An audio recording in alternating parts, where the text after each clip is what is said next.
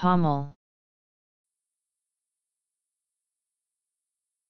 The upper front brow of a saddle.